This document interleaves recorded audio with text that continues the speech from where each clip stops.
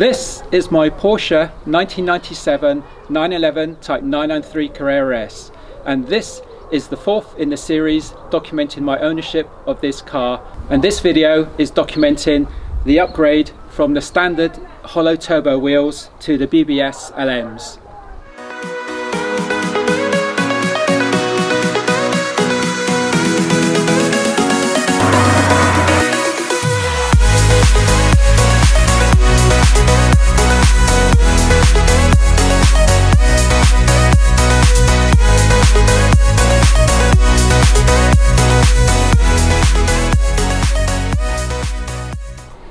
Hi guys and welcome back to Rich Reviews. Apologies for wearing the sunglasses, we're in a glorious summer's day here in the UK and unfortunately if I'm looking into the sun all the time then I'm going to be squinting which isn't a great look. So today we're going to be talking about the wheels and my upgrade from the Turbo Twist hollow wheels which came as standard with my 993 Carrera S and the upgrade to the BBS LMs.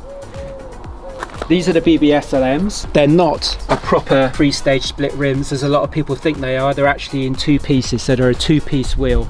Now the history behind me upgrading the car was partly down to my friends across the pond in America. They helped me a lot with, and um, first of all, wanting the wheels because all their cars have got these wheels or a lot of their cars have these wheels over in America and to understand actually how I would get this standard and this level of fitment so that it looked the same as their cars and it, it, provided this stance. Now, first of all, I researched how I could get hold of these wheels. These wheels are BBS LMs. The LM stands for Le Mans, so actually the full name is BBS Le Mans, the Le Mans model. Now, these wheels are 18 by 8.5 on the front and 18 by 11 on the rear.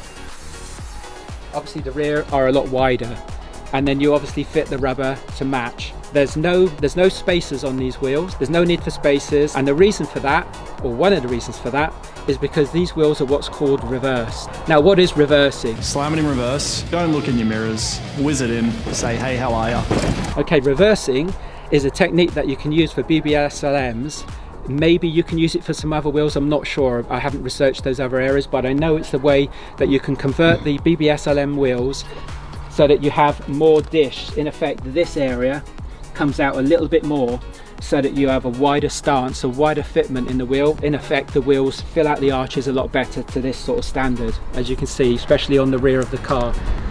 The first stage in getting this look for the wheels and to the fitment in the arches was to procure the wheels. Now that in itself was quite a bit of work. Had to research high and wide the best company to import the wheels. Now I, found out that the actual best price for the wheels from was actually from the leading UK importer which is called Rimstyle. So first of all ordered the wheels from Rimstyle. They had to come in and they come in in, in parts so I believe that they're then fitted together at Rimstyle um, so that they or they're fitted together at um, BBS. I think BBS actually procured a part separately and then they fit the they actually fit the wheels together. And then once the wheels arrive, what you have to actually do is they're actually all QA'd and all fitted together and all the, the nuts are all torqued up, etc. and all all QA'd um, ready to actually be fitted to the car. But then what you have to do to get this this style of fitment, this reversed fitment, you have to then dismantle this section of the wheel so you have to undo all these bolts around the wheel.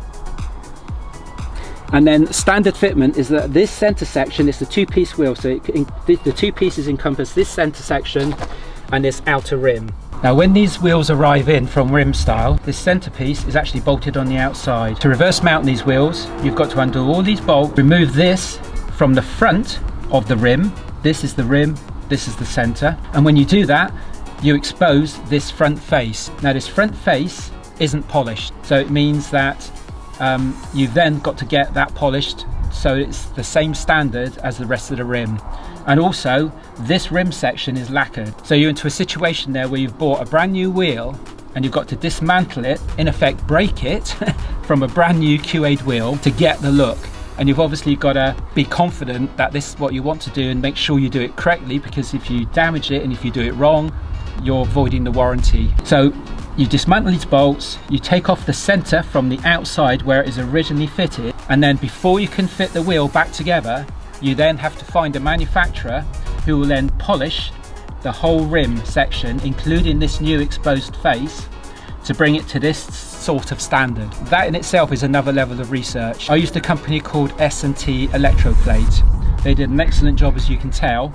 And once you get the rims back from being polished, obviously the centers don't need to be polished, the centers are still lacquered with their original lacquer. Once you get the rims back from being polished, then you have the painstaking part of actually bolting the wheel back together, but obviously with this inside the lip, inside the rim. I think these are also called lips in um, in America. You, you bolt the center on the inside and you have to put these bolts back in all along very very carefully remember this is highly polished you're putting a socket potentially onto these bolts. And if you get that socket if you miss with a socket you're going to damage this bright work and it's going to be noticeable. And my wheels were put back together by the by my mechanic. The reversing was done by my mechanic um, and he did a fantastic job on, on rebuilding the wheels and there's not one mark anywhere on the wheels. How do I know that? Because when you polish these wheels you have to get very up close and personal with them. You're literally a few inches away from the wheels. You would see any mark on these wheels. So once you have the wheels reversed and once you have the wheels polished, rebuilt and reversed, then of course you get your, your rubber fitted to the tyres and you have to have researched and understand what type of rubber you want. I always go with Bridgestone SO2s on the 911.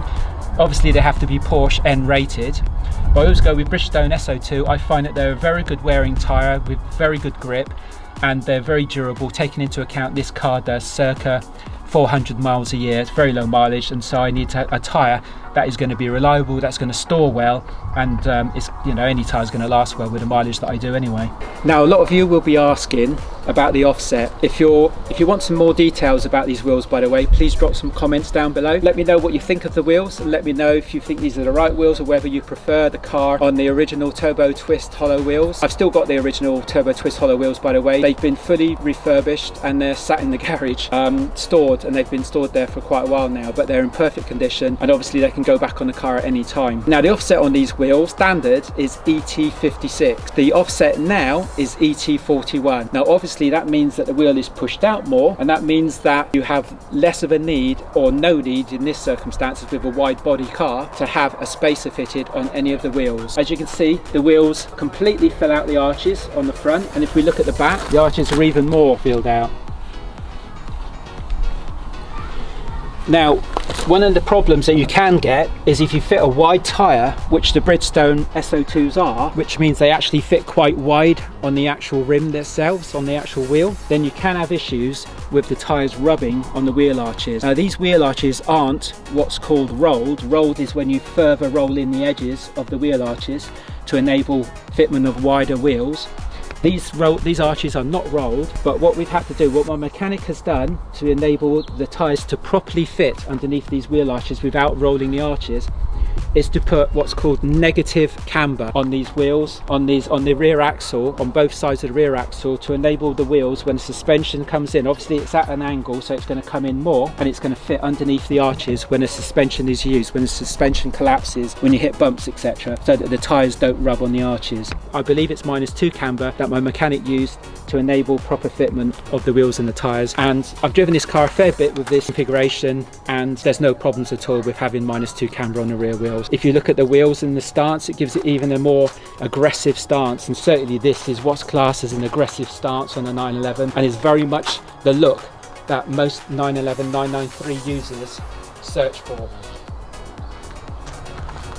So let me know in the comments guys, what do you think of the car with these wheels? Do you prefer these wheels? Would you prefer any other wheels? And if there's any other wheels that you like, maybe some other BBS wheels that you, that you prefer or that you use on your own 993s, on your own Porsches, let me know down below. It'd be interesting to have some discussions with you about the wheels. Obviously, these are the only wheels that I've been looking at. I haven't been looking at any other wheels on the 911 apart from the original standard wheels and I think that these wheels look awesome. Okay, so now I'm going to talk to you a little bit about care of these wheels. Remember I said that the wheels had to be polished, so all these rims had to be repolished polished to, to number one to remove any lacquer that was already there. Not that you'd really want to do that but because if you're polishing this front face then in effect you've got to polish the whole rim and the whole lip to match it in so it's all matched in exactly the same to get this look. Now that means that there's no coating on the rims. Now what does that mean? That means that if you get water on these rims then they're going to get tarnished. So you've got to be extra careful. Now one thing I didn't do which I really regret that I should have done and that I will do um, but I haven't had a chance to do it yet and that is to get the wheels fully ceramic coated. That means all this ceramic coated and this ceramic coated so that in effect you have that thin layer on there that will wick water away and will prevent any tarnishing. I should have had that done when I had the wheels polished. I just was so busy project managing the whole work that was being done on the car at the same time and holding down the job as well that I just didn't factor it in. And then afterwards I thought oh, I'll get around to doing it. I just haven't got around to doing it yet. Now what that means is that whenever you wash the car, as you will have seen from the washing clip, You've got to be so careful not to get too much water on the wheels. And as soon as you've washed the car, you've got the car wet and you've, you've um, washed the car down with detergent, obviously a mild detergent as I said in the video, then you have to dry the wheels as quickly as possible to reduce the tarnishing as much as possible. Now if the wheels do get tarnished, then you're into repolishing them. Now the product that I researched and that I use is Protex now, I'm not sponsored by Protex, I'm not sponsored by Rimstyle, I'm not sponsored by BBS. As you're probably aware, currently I have a small subscriber base on my channel. I'm, I'm growing the channel at the moment, so that in effect brings me to please subscribe, guys. so please share this video, please subscribe, and please like the video if you like it, of course. Please just share the video. I need to get this user base up and once the user base increases and I get a lot more impetus on the channel then that will give me the impetus then to create more videos. I've got a lot more content that I want to create about the Porsche. There's a lot more content to come in this series. So getting back to polishing the wheels. Now assuming you've got the wheels tarnished what you have to do is you use a small amount of this polish. Now this polish is, is a sealant as well as uh, removing any tarnish and any insects etc etc now once you use this polish on the wheels it puts a sealant on the wheel which is water wicking. Again hydrophobic much like the hydrophobic quality of the PPF Sun SunTek Ultra film on the car. So it helps with getting the water away from the wheels so when the wheels do get wet in the future or dirty it's a lot easier to clean them. So you put a very small amount of polish on a, on a lint free cloth, but obviously the cloth I wouldn't use high grade cloths for the wheels because obviously you can have brake dust um, and all sorts of contaminants in there. You don't want to use good cloths because they'll be ruined as soon as you use them. And you need to use two cloths, one to apply the polish and one to polish off afterwards. As you can see from the design of wheels, their wheels are quite intricate and it means you've got to get polished in all these sections to get the dirt out. Now these are still lacquered there was no need to actually have these center parts polished. So these are still lacquered, so they have a good water wicking capability. But still, to remove the brake dust or the disc pad dust, you still need to get into all these different areas to get the, the dust out. So it's a case of, once you've got the polish in there, it's a case of polishing around in this manner. I'm actually right-handed, I'm doing this left-handed so you can see the wheel because if, if, i go the other side, then the wheel goes in shadow and obviously that's not a good look on the camera. I think you get the idea. And then in with, between the wheel nuts, once you've got polish in there, then you go around this section and obviously you're going around the rims to get the rims clean. Now you don't have to polish the wheels very often if you have a very good approach to wiping them down when you go out in the car and obviously this car is never used in the rain never used in winter therefore in general the only time the wheels ever get wet is when I wash the car. So what I do when I take the car out in one of its rare occurrences nowadays, but when the car does go out, what I do is I use a very quick technique which I'm going to show you now. What I do first of all is the key thing if the if the wheel is dirty, if the wheel is wet, the key thing is to get the moisture off as quick as possible. So just get the rag around the wheel as quick as possible and get, get that moisture off because the longer that moisture stays on the wheel, the more capability it has to tarnish the wheel and the more likely you are to have to polish the wheel, which takes about half an hour, 40 minutes, 45 minutes, depending on how bad the wheel is, each wheel. Now I've got that down quite quick. The first time I did it, I think it took me about an hour a wheel. It's, it's, quite a painful process. So first of all, you're focusing on the outside rims that aren't lacquered, that are bare, get the water off there, and then you can focus on these sections. But you have to be very careful with these face sections as well. So what I do is I get the rag, make sure I've got a good depth of the rag, and I get the rag in there, and you can hear there as it's going round the bolts, get the rag around in there, with the depth of the rag so that it's fitting inside these little slots and it gets the moisture out. and this is what I do when I come back from a, a little uh, drive with the car as well. And then I fit the, the rag inside the rim. Now the fronts are slightly different to the rears. They have a bit of a, a recess in here which you can really get your finger into. So get your finger in there wipe it round and then focus on this main flange section of the lip. Get the the rag in there. Obviously you have to use quite a bit of impetus and quite a bit of pressure to really get the wheel clean. And then focus on this last section. If you use your finger this way with the cloth with still a fair amount of depth of the cloth then what you can do is really get in there on that outside rim and get that clean or get it dry whichever way you're doing. Now with regards to the valve the valve is highly polished as you can see as well. It comes standard like that with the BBS LMs what you do you fit the cloth in between the valve to get any moisture out of there and any tarnishing out of there as well. And then where your fingerprints may have, where your fingers may have touched the lip, just use the rag again to get your fingerprints off, off the lip and off the rim. So that's the outer lip dried. Then what you do, you just clean, just, just dry or wipe off the polish if you're polishing them from the center parts because you will get polish in there. Then take the rag around with a bit of depth in there again to the center section. Now you have to obviously, as I've pointed, alluded to before, get in here with the rag and polish all these individual sections as well. And once you've done that, to cover off the outside, you can just do this around the outside where it's polished, it will come off, and then wipe the rag around like this. Again, a good depth of the rag, I'm not holding it tightly, I'm just leaving that loose to wipe the center around to complete the finish. And then take a look at the wheel. If you see any marks obviously you focus directly on those marks to finalize the wheel. And that's how you keep BBS LM wheels in this sort of condition in show quality condition.